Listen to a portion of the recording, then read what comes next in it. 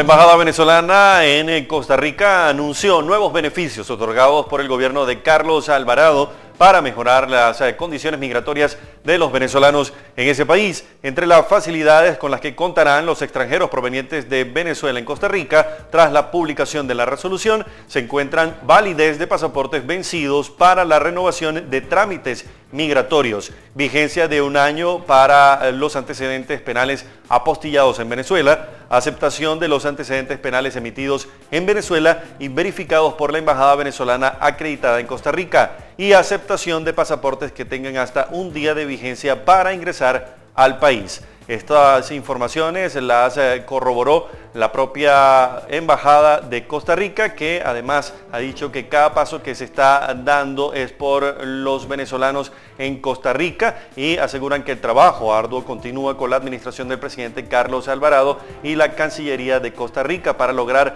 más apoyos que mejoren la condición migratoria de los venezolanos en Costa Rica. Esto lo escribió la representante consular venezolana María Faría en su cuenta en Twitter.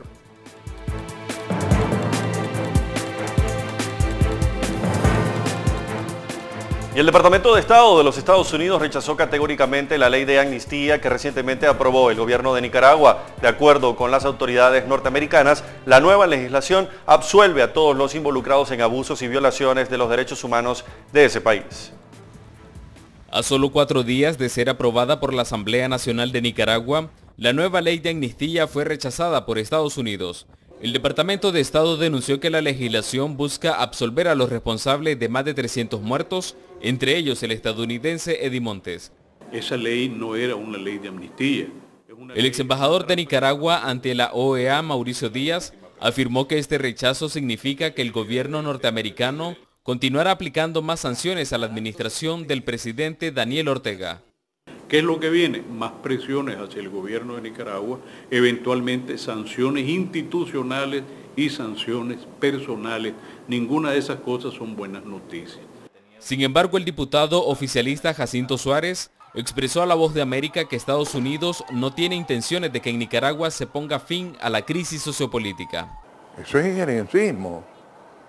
¿Por qué ellos tienen que estarse metiendo en eso? Todos los días lo demuestran que se están metiendo en un montón de cosas que son propias de Nicaragua. No solo Estados Unidos hará responsables a los funcionarios nicaragüenses. La Unión Europea también advierte que podría aplicar sanciones a funcionarios sandinistas. Kenny Bell, embajador de la Unión Europea en Nicaragua, aseguró que seguirán de cerca el cumplimiento de los acuerdos en el diálogo entre el gobierno y la oposición, entre ellos el respeto de todas las libertades públicas. Vamos a ver porque una gran preocupación naturalmente era la liberación de los presos. Y vamos a ver, eso, eso depende de una unanimidad entre los, en la parte europea de los Estados miembros de la Unión Europea.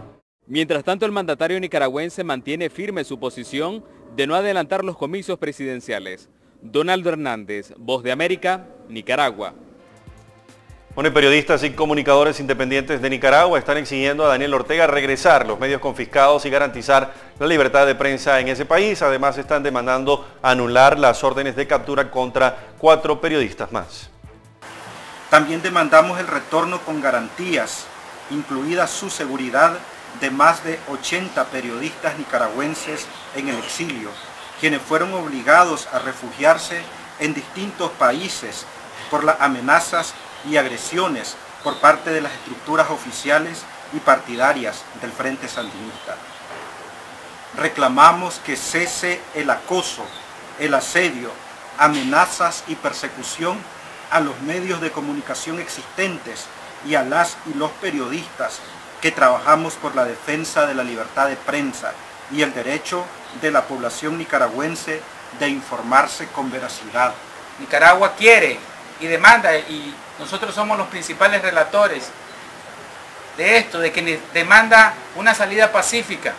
Y la salida pacífica es elecciones adelantadas.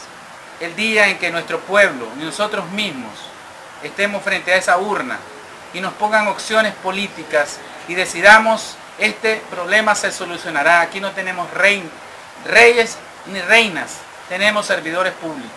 Y eso lo tienen que entender, que en democracia Lamentablemente para ellos, la mayoría es la que manda. Y nosotros, ustedes colegas, están con la mayoría. siempre al lado del pueblo. Bueno, en Honduras, el presidente Juan Orlando Hernández recientemente activó la mesa de diálogo nacional con representantes y dirigentes de la salud y la educación, representantes de la sociedad civil y otras personalidades buscando poner fin al conflicto que mantiene la plataforma para la defensa de la educación y la salud que ha mantenido las protestas y manifestaciones violentas y que en esta oportunidad y hasta los momentos no se ha sentado en esta mesa de diálogo con el gobierno. Que todos los hondureños que todos los amigos de Honduras que le apuestan a la educación y a la salud, los que estamos aquí y los que no están aquí, todos sabemos que tenemos que mejorar el sistema de salud de manera significativa y tenemos que mejorar el sistema de educación de manera significativa. En eso no hay duda. Probablemente tengamos diferentes opiniones en cómo. Pero el punto de partida creo que es coincidente para todos y para todas. Por tanto, es el momento de escucharnos, de llegar a acuerdos y de dar resultados. Amigos, vamos a una pausa, pero al regreso tenemos información internacional.